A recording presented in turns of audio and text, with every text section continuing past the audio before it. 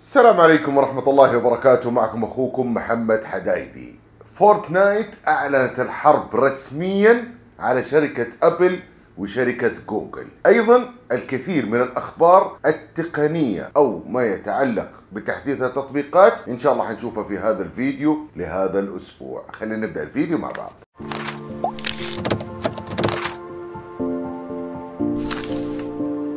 الشركة الأولى عالميا من حيث مبيعات الجوالات هي شركة سامسونج تليها شركة هواوي وثالثا أبل. شركة هواوي أزاحت شركة سامسونج من المركز الأول واحتلت المركز الأول حاليا من حيث عدد مبيعات الأجهزة حول العالم. وأصبحت منظومة services هواوي موبايل تزدهر مع 1.6 مليون مطور عالمي ووصل عدد مستخدمي أجهزة هواوي إلى 700 مليون جهاز حول العالم. حاليا تطبيق الواتساب يختبر ميزة تشغيل الحساب على عدة أنظمة زي تطبيق التليجرام. نفس الفكرة تقدر تشغل تطبيق التليجرام على الآيفون على الآيباد على أجهزة الأندرويد على الكمبيوتر كلها بنفس الحساب. فبإذن الله توصل قريب ويصير تقدر تستخدم أيضا الميزة اللي منتظرينها اللي هي تقدر تشغل الواتساب في نفس الوقت على أكثر من جهاز. تسريب تصميم بسيط يكشف لنا عن اللي هو هواوي ال Watch Fit القادمة من شركة هواوي. شركة جوجل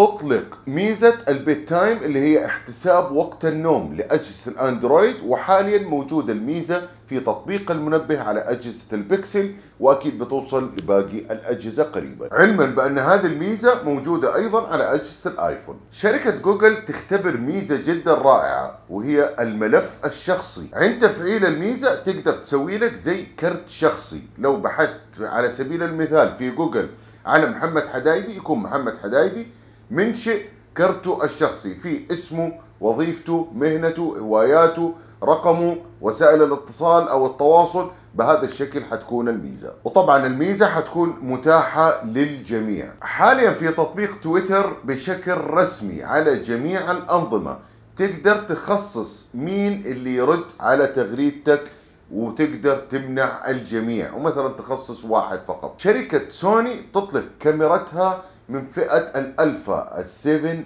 S وبتكون متوفرة إن شاء الله في المملكة العربية السعودية في أواخر شهر أكتوبر من عام 2020 ونيجي للخبر الأهم والحدث الأكبر فورتنايت. متجر أبل ال App Store متجر التطبيقات والألعاب كذلك متجر جوجل أو Google Play للأندرويد. أنظمة هذه المتاجر أنت عندك تطبيق أو عندك لعبة بداخلها عمليات شراء أو حتى كانت بفلوس. هي نظام شركة أبل وشركة جوجل إنها تقاسمك بالأرباح. أو بمعنى آخر تاخذ نسبة على كل عملية شراء. بغض النظر عن النسبة كم بالنسبة للعبة فورتنايت على حسب ما تم نشره إنه شركة أبل وشركة جوجل تاخذ 30% على كل عملية شراء من داخل لعبة فورتنايت. بمعنى أوضح أنت الآن اشتريت ب 100 دولار في لعبة فورتنايت من جهازك الآيفون أو جهازك الأندرويد شركة أبل أو شركة جوجل